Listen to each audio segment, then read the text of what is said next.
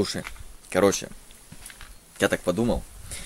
Давай, наверное, все с этого видеоролика. Все последующие будут посвящены исключительно этим кулинарным рецептам. Да, сыроедческим. Даже, даже не так. Потому что сыроедческим это сильно круто будет сказать. Я буду делать тупо одни хлебцы. Все последующие запланированные 44 тысячи 500 видеороликов будут посвящены всевозможным комбинациям этих злаков, травок, специй. Можно даже насекомые туда добавлять. Печень человеческую, Янкину.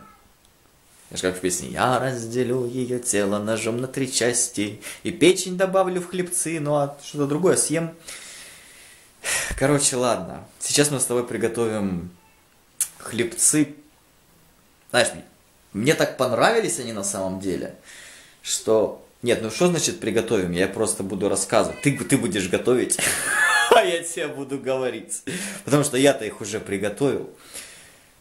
Понимаешь, вот надо как-то придумывать новые какие-то форматы кулинарных рецептов. Э, одни готовят, другие фоточки делают, кто-то пишет, а кто-то просто говорит. Короче, смотри, вот у нас полученный хлебец получился. Я, я, я еще, кстати, когда решеточку эту заберу, я уже понял, 4 миллиметра высота маленькая, минимум надо 6 миллиметров высоту. Значит, смотри, ты запах не слышишь? Тут специи так пахнут. Короче, бесподобно. Э, это нельзя передать. Это ты когда сделаешь сам, а можешь купить у меня. Короче, хлебцы, охренительно, просто. Я не знаю, почему я такие раньше никогда не делал. В принципе, мог бы придумать, додуматься сразу. Ха, вдвоем. Это я, я не знаю, я как начинал есть, так не могу остановиться. Берем. Пропорции я не знаю, что на вас сделал. Короче, лен и гречечку 50 на 50 проращиваем, промываем, погружаем в блендер стационарный добавляем немножечко воды, совсем чуть-чуть, ну, вернее, столько, чтобы блендер взял и все это превратил в однородную массу. Воды на, на, по минимуму, то есть столько, чтобы взялось. Не надо делать более жидкую. Ну, короче, чем меньше воды, тем лучше. На самом-то деле я все-таки понял, что это каким-то странным волшебным образом отражается на вкусе. То есть помимо того, что оно сушится быстрее, то есть если ты больше дольешь воды, оно будет дольше сушиться. Это одно. Ну, стра... Я не знаю, как такое может быть, но мне так кажется. Может, это у меня шизофрения просто стреляет в мою голову. Что, короче, чем меньше воды, тем они вкуснее получаются. Понял. Значит, добавляем лен и гречку. Все это в такую в густую сметану. И я тебе рекомендую, ну и допустим, если у тебя блендер, понемножечку, по чуть-чуть добавляй. Лучше несколько раз перебей, хоть, допустим, блендер на 2 литра, я максимум стараюсь где-то на одну четверть загрузить. Если бы он был на 2000 ватт, то можно, конечно, и больше. Потому что лен, он... Ну, короче, если ты не хочешь, чтобы у тебя техника дольше прослужила, я думаю, все-таки стоит прислушиваться к этому. Меньше добавлять. Так. Тыкву, тыкву очищаем. Сколько? Я не знаю. Попробуешь, поэкспериментируешь туда-сюда на глаз. Ну, я добавил где-то... Короче, я где-то взял по 300, 350 грамм льна и гречки и где-то полкилограмма тыквы, наверное. Может, чуть меньше, может, грамм 400, ну, на глаз. Соль, красный, ну, я люблю острое. Это, понимаешь, вот тоже, как сказать, вот, тебе понравится, не понравится.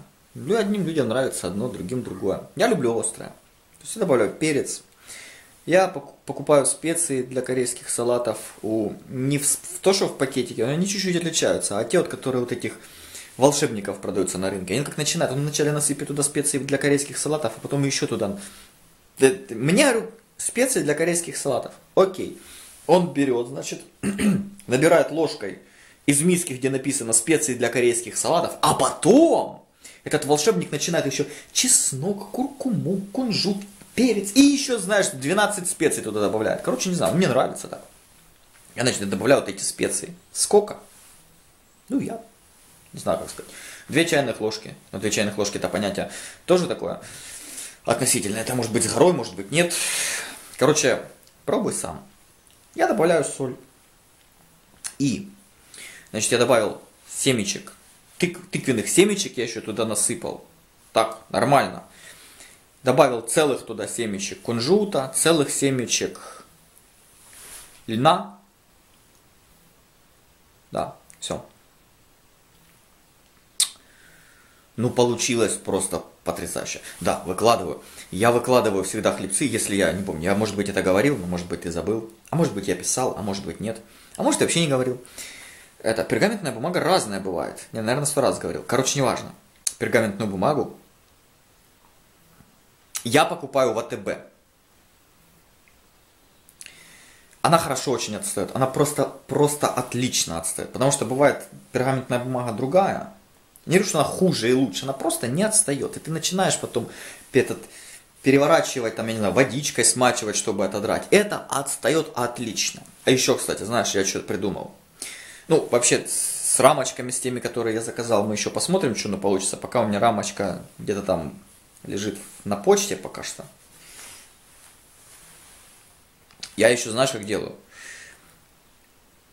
Я даже нарезаю иногда, вот оно чуть-чуть подсушилось, но, допустим, бумага еще не срывается. Я пофиг, прям на бумаге, ну, кладу вот эту хрень на досточку и начинаю ножиком нарезать. Потому что, ну, мало ли, я потом просплю, к примеру, или уйду, оно пересушится, а потом ты не нарежешь, оно начинает лопаться. Поэтому я нарезаю еще в таком, когда оно уже чуть-чуть подсохло, ну, возможно, еще бумаги не до конца отрывается.